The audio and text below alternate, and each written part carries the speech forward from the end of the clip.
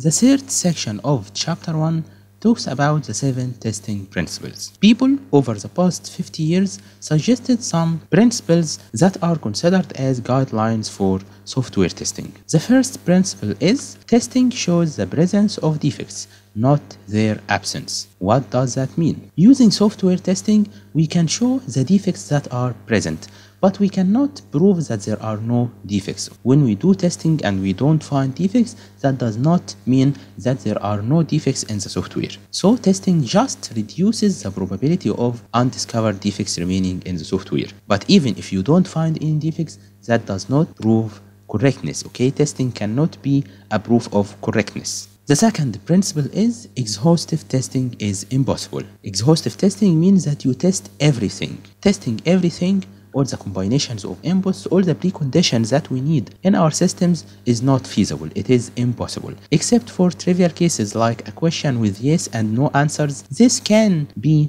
exhaustive tested, but most of the times we can't perform exhaustive testing. So what should we do? We should perform risk analysis at the beginning of our project. We should choose the proper test techniques and prioritize them while we are managing our test effort. The third principles, early testing saves time and money. The best thing in software testing is to begin testing as early as possible. So to find defects early, you should perform static and dynamic testing as early as possible. Static testing from the moment the requirements are written and dynamic testing beginning from writing the code and performing unit testing. Early testing is sometimes referred to as shift left because we shift the testing to the beginning of the project to the left side. So this case of shift left or early testing reduces the costly changes reduces the changes that will cost us a lot of money. Principle number four, defects cluster together. Here written 80-20. What does that mean? It means that most of the time in our life, 80% of your problems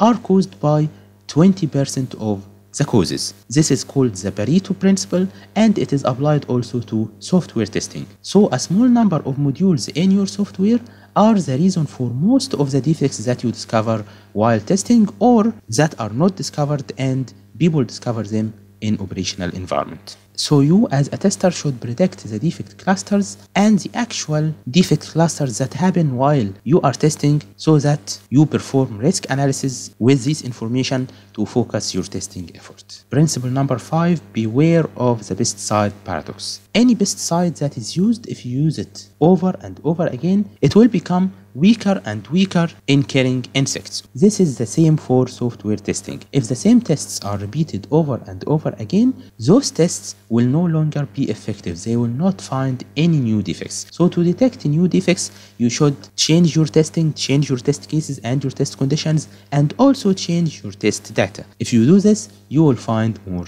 defects. So tests are no longer effective at finding defects like pesticides are no longer effective at killing insects. But also, pesticide paradox sometimes is useful in automated regression testing.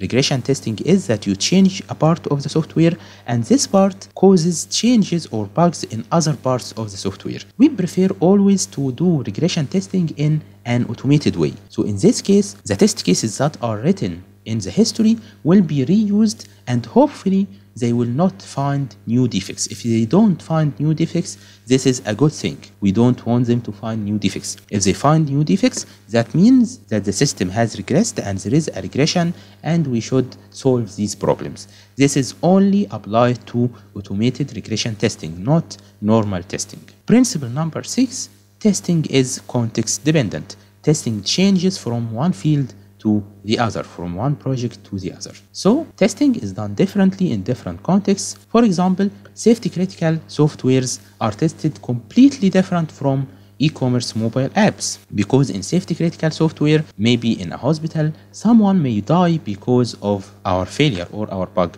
But in e-commerce mobile apps no one will die okay? We will lose some money and the problem can be fixed with no loss of human lives. Another example testing in agile projects is done completely differently than testing in sequential lifecycle projects. The last principle of software testing is absence of error is a fallacy. What does that mean? It means that you think that there are no errors. Some organizations or some managers expect that you as a tester you can perform all the testing and find all the possible defects. Principles 1 and 2 tell us that this is impossible. You as a tester you cannot find all the possible defects. You can only find most of the defects. So this is a fallacy. Another fallacy is that you expect that when you find defects and fix them or you find a large number of defects, this will ensure the success of your system. No. Why? Because for example, if you test the requirements and fix all the defects found, your system still can be difficult to use. Your system still might not fulfill the user's needs and expectations. Also, your system might be inferior compared to other competing systems. What does that mean? It means, for example, you are making a social media, a new social media. You reviewed the requirements, you tested the software, and on the release, no one use it. Why? Because there is Facebook. So your competing system is very high in quality and you are inferior to it. Okay, you need to work more on your quality.